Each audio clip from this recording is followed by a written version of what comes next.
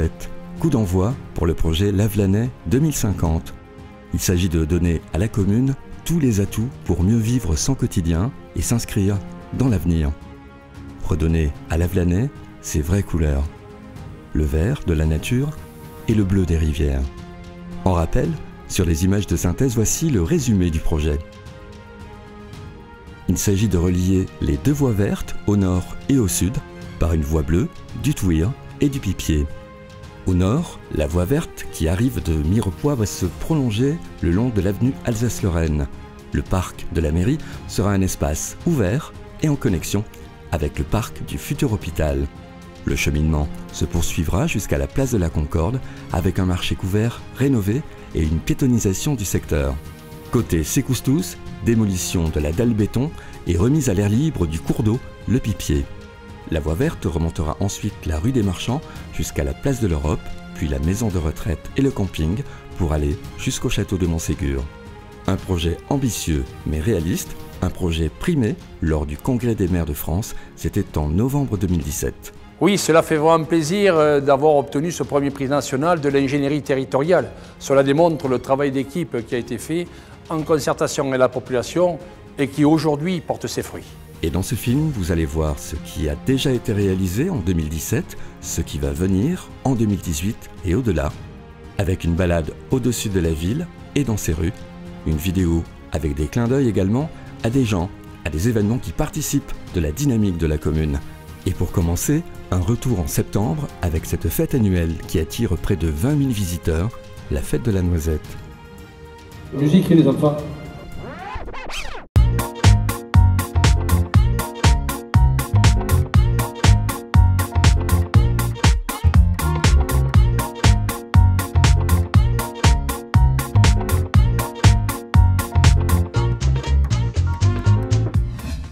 2017, à Lavelanet, on s'est fait du cinéma.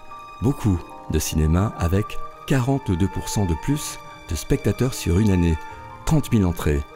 Une progression spectaculaire grâce à l'ajout d'une seconde salle de projection.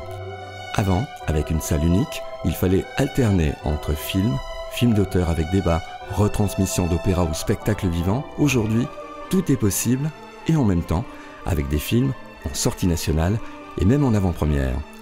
La nouvelle salle est baptisée Georges Méliès, inventeur des effets spéciaux au cinéma et dont le papa est lavlanécien. Et voici un effet Méliès dans la salle Méliès. Et puis pourquoi ne pas viser la Lune et imaginer un musée du cinéma à Lavelanet Cela pourrait vraiment taper dans l'œil. Retour sur Terre, jouxtant le cinéma, la ludothèque, avec maintenant, sur son parvis, une aire de jeu pour les plus petits, comme c'est le cas avec la nouvelle aire de jeu créée à Rive-Haute. La ludothèque, un lieu culturel, elle est ouverte à tous les enfants à partir de 1 mois et jusqu'à 12 ans. Il y a près de 1900 jeux pour jouer sur place ou à emporter. Encore de la culture, mais potagère. Et comme nous le dit Voltaire, il faut cultiver notre jardin. Alors voici les jardins partagés à la Prairie Madame. Un lieu intergénérationnel et de partage créé au mois de mai. 21 parcelles de 80 mètres carrés offertes à des particuliers et des associations. C'est un vrai succès, voué à s'agrandir et pourquoi pas essaimer dans d'autres quartiers de la ville. Écoutez, écoutez bien le silence, ça pousse. Et poussons jusqu'à la rue Jacquard, une rue rénovée avec des trottoirs neufs, mais aussi deux nouveaux équipements. Au début de la rue, l'Ourdissoir, c'est un ancien théâtre. Le bâtiment réhabilité accueille aujourd'hui des associations. Un peu plus loin, sur la place Jean Canal, c'est un nouveau parking d'une vingtaine de places qui a été créé, un parking en liaison directe avec le musée du textile et du fameux peigne en corne ariégeois. C'est une rue en trait d'union avec le cœur de ville et une rue historiquement riche en termes d'activité et d'emploi. Et elle est vouée à le redevenir pour accueillir une artère économique de l'Avlanais. Et en parlant d'emploi, voici des fleurons industriels et artisans de la commune.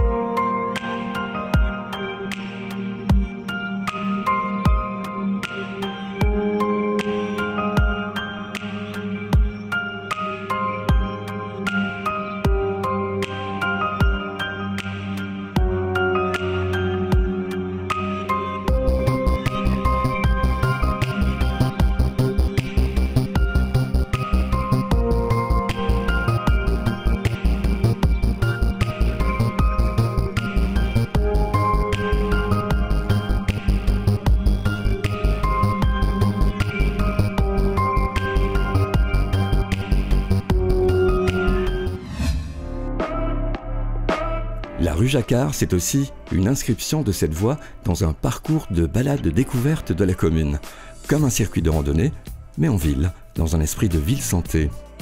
Et au bout de cette voie qui longe la rivière, un projet important, une passerelle pour enjamber le cours d'eau et franchir dans la plus grande sécurité ce carrefour de la ville.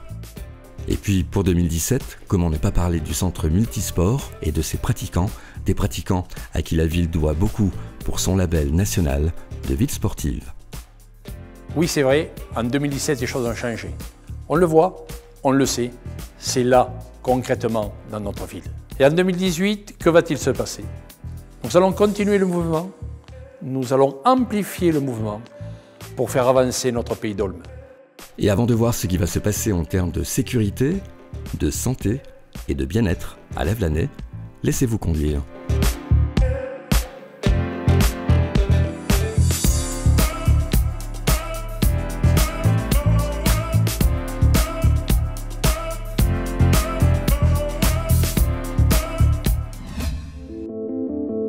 Pour 2018, voici les projets en cours les travaux sur l'avenue Alsace-Lorraine ont débuté dès le mois de janvier.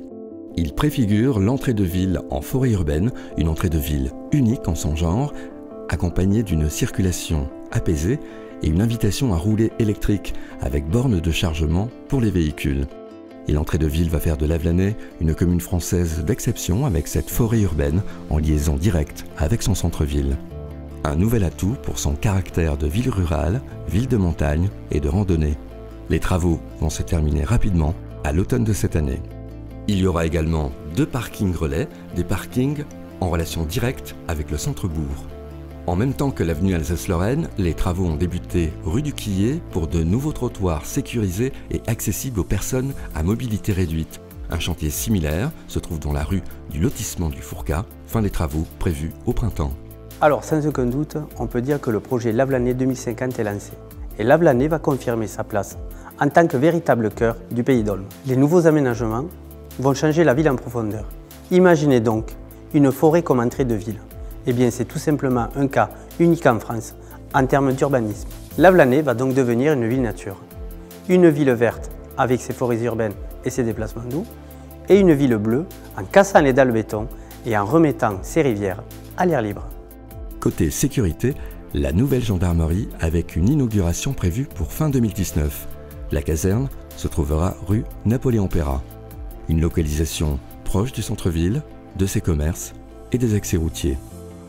Autre avantage pour la population, un parking facile le long de la rue. Et pour les militaires, un programme de logement derrière la gendarmerie pour eux et leurs familles. Cela permettra un meilleur confort et une meilleure réactivité pour les gendarmes et une sécurité accrue pour la population.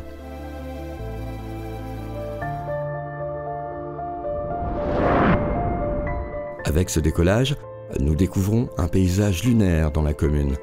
Un paysage lunaire qui remplace une immense friche industrielle qui polluait le paysage et qui va donner lieu à un écrin de verdure et de santé. C'est donc ici que va se trouver le futur hôpital de la commune, un établissement de 85 lits à la pointe de la technologie, un bâtiment également respectueux de l'environnement avec un chauffage à énergie renouvelable géothermique. Il y aura également un pont pour accéder directement à ce nouvel établissement, un établissement hospitalier porté et soutenu par la mairie qui investit de manière significative 2 millions d'euros dans ce projet. Démarrage des travaux en début 2019 pour une livraison en 2021. Côté bien-être maintenant, le grand plongeon va avoir lieu à la piscine municipale. La rénovation et l'ouverture du bassin extérieur seront effectives en 2019 pour la création d'un bassin intérieur. Rendez-vous en 2020. L'hôpital, la gendarmerie et la piscine, c'est le triptyque santé, sécurité et bien-être que nous étions engagés à réaliser pour le bien-être de nos habitants. Et c'est vraiment ce que nous sommes en train de réaliser pour le bien-vivre de nos habitants, ici, en Pays d'Olme et en Pays des Pyrénées-Cathares. Et avant de continuer à décliner le nouveau visage de la ville, merci de nous offrir votre plus joli sourire.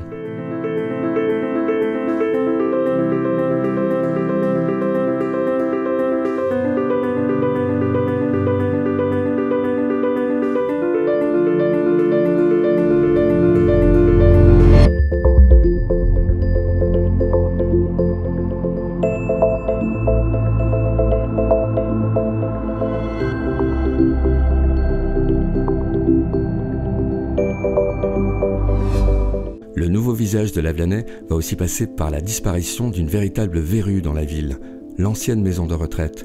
Le bâtiment va être démoli cette année.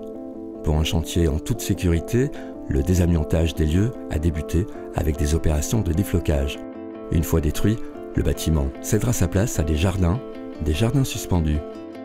Autre destruction programmée courant 2018, deux bâtiments au Sécoustous et Esplanade de la Concorde. Leur disparition va permettre de réaliser le cheminement prévu entre les deux sous-là dans le cadre de la forêt urbaine. On pourra donc cheminer de Sainte-Rufine au Soula qui lui fait face. Dans le quartier du Sécoustous, la dalle béton et l'îlot central vont être détruits. Cette destruction va marquer un vrai changement permettant à la commune de redécouvrir son cours d'eau, le Pipier, avant la fin de l'année. Cela va également créer le nouveau cœur de l'Avlanais. Et puis à côté de la mairie, voici un bâtiment connu de tous avec ses lierres grimpants. Ce bâtiment va être réhabilité pour héberger début 2019 des bureaux techniques et les bureaux de la police municipale. Et en déménageant, les services techniques laisseront place à de nouveaux locaux entièrement rénovés dédiés aux associations de la commune. Enfin, parce qu'une partie de pétanque, ça fait toujours plaisir, la friche Boyer rue Jacquard deviendra, comme de bien entendu, un boulodrome flambant neuf. En projet encore et pour terminer, la création d'une maison de la chasse, de cours de tennis couverts et d'un mur d'escalade destiné aux lycéens, un équipement très important pour le classement de l'Avlanais comme ville universitaire des métiers de la montagne. L'Avlanais 2050 est un projet collaboratif. La Maison des Projets est là pour informer mais aussi recueillir les souhaits des habitants. Une maison qui n'hésite pas à sortir de ses murs pour rencontrer la population et échanger sur la vision du Lavlanais de demain. Un lendemain qui se construit aujourd'hui pour de belles années. La mairie de Lavlanais, ses techniciens et ses élus vous souhaitent une bonne année.